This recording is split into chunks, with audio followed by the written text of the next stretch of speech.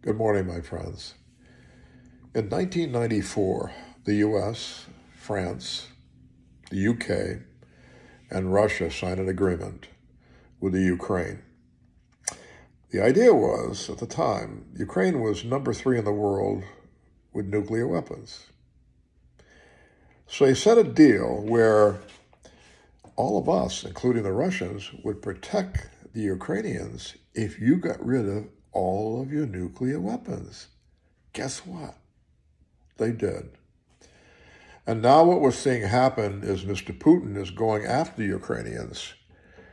And it's funny because I've been working with the Ukrainians now, master carvers, in terms of taking our biomechanics and functionality of the posture cane and turning it into works of art where people can buy a cane, walking sticks, or whatever They could literally be uh, used for art and function together.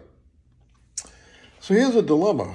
My master carvers in Ukraine now, the missiles are getting a little bit too close to them.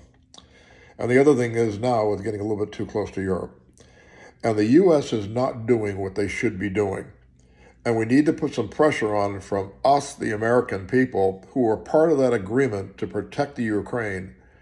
And we're doing a really terrible job. I don't know whether it makes any difference of who's president or whatever or what the politics are, but we didn't honor our deal.